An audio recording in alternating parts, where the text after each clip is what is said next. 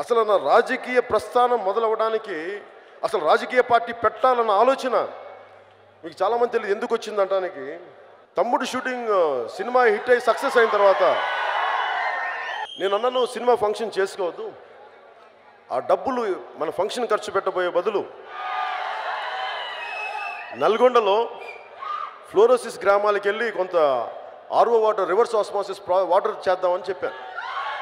వెళ్తే అంటే నన్ను స్ఫూర్తినిచ్చింది నాకు కోపాన్ని తెప్పించింది. ఒక మంచి పని చేయడానికి ఇన్ని అడ్డంకులు ఉంటాయని మొట్టమొదటిసారి తెలిసింది.